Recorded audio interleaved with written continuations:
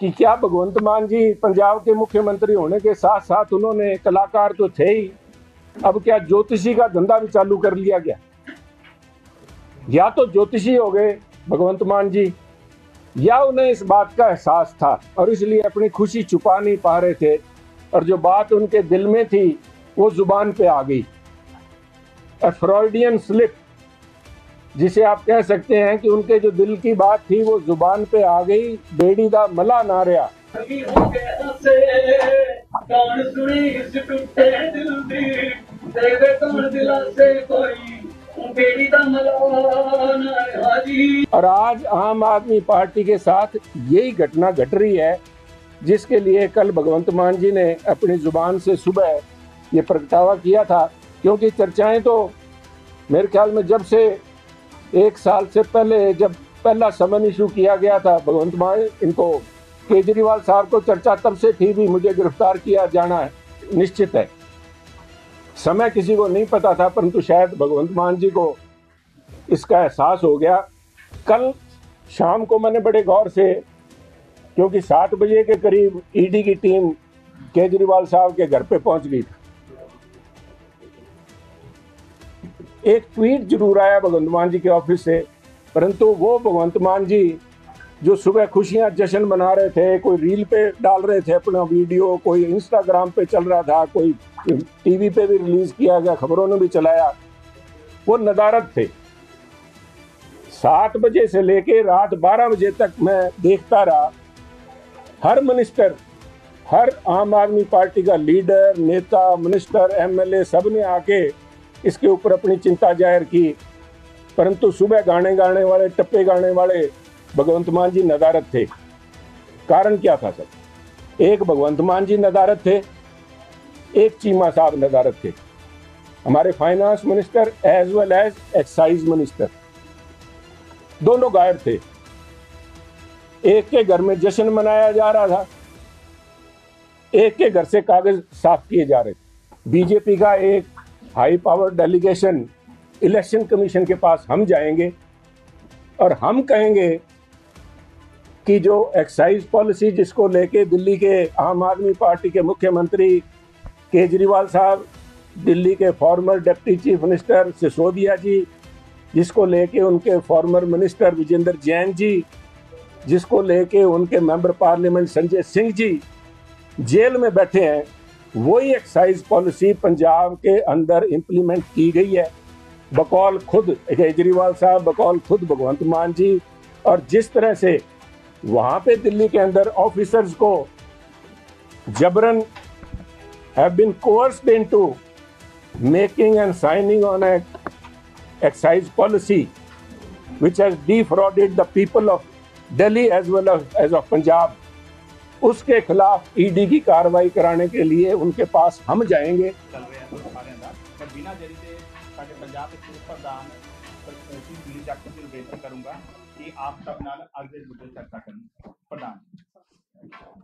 सत श्रीकाल सारे का बहुत बहुत धन्यवाद तुम सारे जुड़े हो एक बहुत ही अहम डिवेलपमेंट जी हो रही है। मैं दोनों में बोल देता हूँ जी क्योंकि ये मसला सिर्फ़ पंजाब तक सीमित नहीं है। जो घटनाएँ पिछले कुछ दिनों से जिनका बोलबाल था, वो जो कल घटना घटी है और उसका जो प्रभाव है, वो देशव्यापी है। हर एक कॉर्नर से आवाज़ें उठ रही हैं, परंतु सबसे ज़्यादा इसका प्रभाव राजनीतिक तौर पे पंजाब में देखने को मिलेगा। ये हम पहले भी मिला है। उस संबंध में कोई भी बात आपसे करने से पहले मैं बेनती करूँगा, जोशी जी, हमारे इंद्रजीत जी से। इंद्रजीत जी प्लीज़ अभी हो गया से कौन सुनी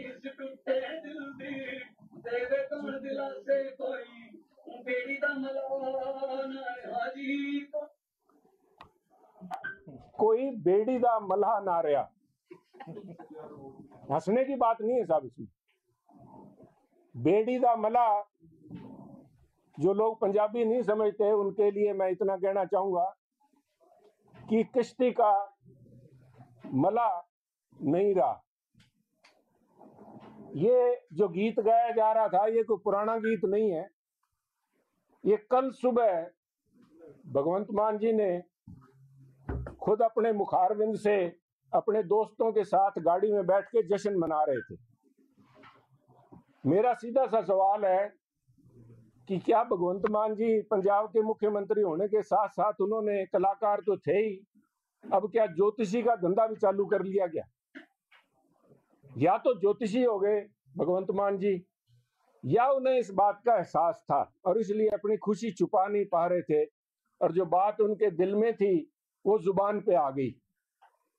फ्रॉइडियन स्लिप, जिसे आप कह सकते हैं कि उनके जो दिल की बात थी, वो ज़ुबान पे आ गई, बेड़ी का मला ना रहा। और आज आम आदमी पार्टी के साथ यही घटना घट रही है, जिसके लिए कल भगवंत मान जी ने अपनी ज़ुबान से सुबह ये प्रगटावा किया था। क्योंकि चर्चाएँ तो मेरे ख्याल में जब से एक साल से पहले, जब पहला समन इशू किया गया था, भगवंत मान इनको केजरीवाल साहब को चर्चा तब से थी भी मुझे गिरफ़्तार किया जाना निश्चित है। समय किसी को नहीं पता था, परंतु शायद भगवंत मान जी को इसका एहसास हो गया और अकेला एहसास भगवंत मान जी को नहीं, राघव चड्डा जी को भी हो गया था। अभी कुछ दिन पहले मैंने ये सवाल पूछा था कि वेयर इज़ राघव चड्डा बयान कई अखबारों में छपाए गए कि शायद रेटिना डिटैचमेंट को लेके इंग्लैंड गए हुए हैं, लंदन गए हुए हैं।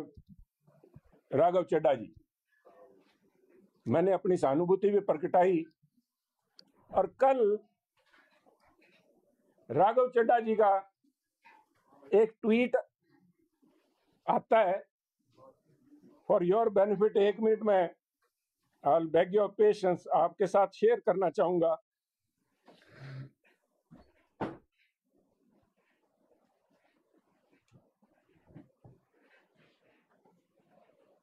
राघव चड्डा जी का ट्वीट है कल का where he says yesterday we had the opportunity to visit palace of Westminster to attend the prime minister's ये करके आखिर में वो बोलते हैं I thank member of parliament mister Nav P Mishra ji and MP Virendra Sharma ji for the invitation and gracious hospitality सब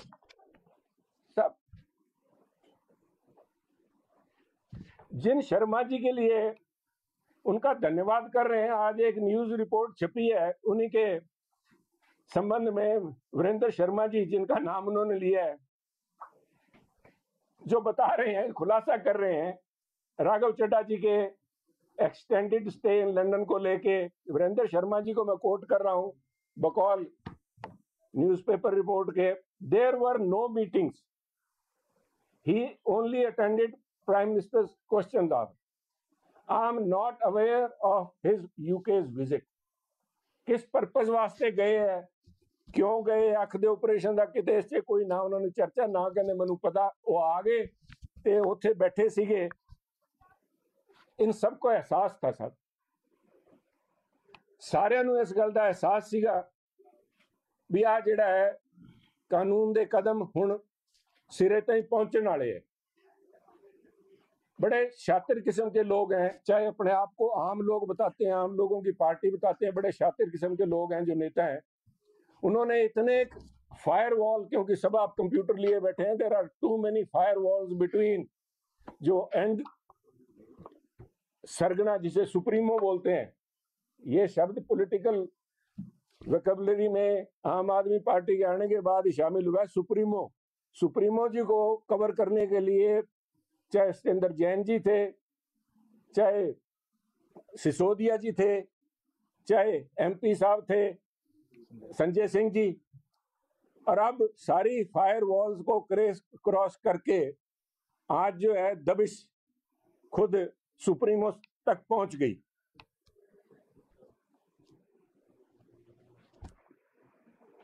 भगवंत मान जी,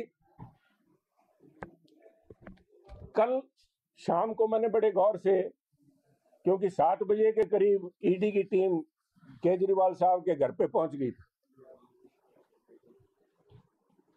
एक ट्वीट ज़रूर आया भगवंत मान जी के ऑफ़िस से, परंतु वो भगवंत मान जी जो सुबह खुशियाँ जश्न मना रहे थे, कोई रील पे डाल रहे थे अपना वीडियो, कोई इंस्टाग्राम पे चल रहा था, कोई टीवी पे भी रिलीज़ किया गया, खबरों ने भी चलाया, वो नदारत थे। सात बजे से लेके रात बारह बजे तक मैं देखता रहा। हर मिनिस्टर हर आम आदमी पार्टी का लीडर नेता मिनिस्टर एमएलए सबने आके इसके ऊपर अपनी चिंता ज़ाहिर की। परंतु सुबह गाने गाने वाले, टप्पे गाने वाले भगवंत मान जी नदारत थे। कारण क्या था सर एक, भगवंत मान जी नदारत थे। एक, चीमा साहब नदारत थे। हमारे finance minister as well as excise minister दोनों गायब थे। एक के घर में जश्न मनाया जा रहा था। एक के घर से कागज़ साफ़ किए जा रहे थे। जब मैं बोल रहा था कि सबसे ज़्यादा इसका इम्पैक्ट पंजाब पे पड़ेगा, पंजाब के राजनीतिक माहौल पे पड़ेगा, वो इसी से संबंधित था। क्योंकि जिस एक्साइज पॉलिसी को लेके आज केजरीवाल साहब को ये दिन देखने पड़े हैं कि उनको ईडी ने हिरासत में लेके उनसे पूछताछ चालू होगी, कितने दिन का रिमांड मिलता है, जो भी आने वाला समय बताएगा। परंतु जिस काम के लिए आज भुगत रहे हैं, उसका सीधा साधा replication of that model Delhi governance model जो था, वो पंजाब में इंप्लीमेंट किया गया। Punjab government was being run by proxy Kejriwal साहब और उनके करिंदे, उनके जो रेजिडेंट कमिश्नर यहाँ बैठे थे, एक से तो पीछा छुड़वा लिया भगवंत मान जी ने, क्योंकि उन्हें भी अंदेशा था विजय माल्या की तरह जो कि बाहर चले गए। बाकी लोग अभी भी कुछ यहाँ पे हैं और भगवंत मान जी मैं समझता हूँ आने वाले दिनों में उनसे भी निपटेंगे। पर उस बात को मद्देनजर रखते हुए साथियों, क्योंकि जो बातें आई हैं, जो इल्ज़ाम बीजेपी लगाए गए हैं, मैं उनके ऊपर भी बाद में आऊँगा, परंतु मैं पंजाब के दृष्टिकोण से मैं यहाँ पे राजनीतिक लांछन लगाने के लिए नहीं, ना ही मैं कोई सफाइयाँ देने के लिए आया। मैं एज ए रिस्पॉन्सिबल पार्टी के तौर पे हमारी जो जिम्मेवारी बनती है, पंजाब का जो नुकसान हो लिया, सो हो लिया, और नुकसान ना हो। कल बीजेपी का एक high power delegation election commission के पास हम जाएँगे और हम कहेंगे कि जो एक्साइज पॉलिसी जिसको लेके दिल्ली के आम आदमी पार्टी के मुख्यमंत्री केजरीवाल साहब, दिल्ली के former deputy chief minister Sisodia ji, जिसको लेके उनके फॉर्मर मिनिस्टर विजेंद्र जैन जी, जिसको लेके उनके member parliament Sanjay Singh ji jail में बैठे हैं, वही एक्साइज पॉलिसी पंजाब के अंदर इंप्लीमेंट की गई है। बकौल खुद केजरीवाल साहब बकौल खुद भगवंत मान जी। और जिस तरह से वहाँ पे दिल्ली के अंदर ऑफिसर्स को जबरन have been coerced into making and signing on a excise policy has defrauded the people of Delhi as well as, as of Punjab उसके खिलाफ ईडी की कार्रवाई कराने के लिए उनके पास हम जाएँगे। और अकेले, क्योंकि it is a public cause कोई बीजेपी का, हमारा किसी से कोई विरोधाभास इस किस्म का नहीं है, कोई निजी कड़प्पन नहीं है, परंतु इसलिए मैं समझता हूँ कि all the like minded people जो कल तक ये आवाज़ उठाते रहे, चाहे आज वो कांग्रेस में अपने राजनीतिक महत्वाकांक्षाओं के लिए आज इनको क्लीन चिट दे रहे हैं, मैं उनसे भी कहूँगा कि एक खुला न्योता है वो अपने नाम भेज दें जो हमारे साथ चलने चाहे, चाहेंगे क्योंकि कल तक कई कांग्रेस के बड़े leader including there L and their Congress के प्रेसिडेंट साहबान वो सारे कहा करते थे कि उसकी ईडी जाँच होनी चाहिए। उसके भी अगर आप कहें तो मेरे पास उनके सारों के बयान मेरे पास हैं जो उन्होंने उस समय बयान दिए जब सिसोदिया साहब पकड़े गए थे। तो उनका तब ये मांग थी कि ईडी ये जाँच करे। आज उसी ईडी को ये भूत समझने लग गए क्योंकि इन्होंने आम आदमी पार्टी, इसी करप्ट कट्टर, बेईमान पार्टी, जो अपने आप को कट्टर, ईमानदार पार्टी बताती है, इसके साथ इनकी सांठ गांठ में इलेक्शन लड़ने के जो इच्छुक है, परंतु अगर वो आज भी पंजाब के लोगों में अपना मुँह दिखाना चाहते हैं तो मेरा उनसे आज आपके माध्यम से खुला न्योता है कि वो आए।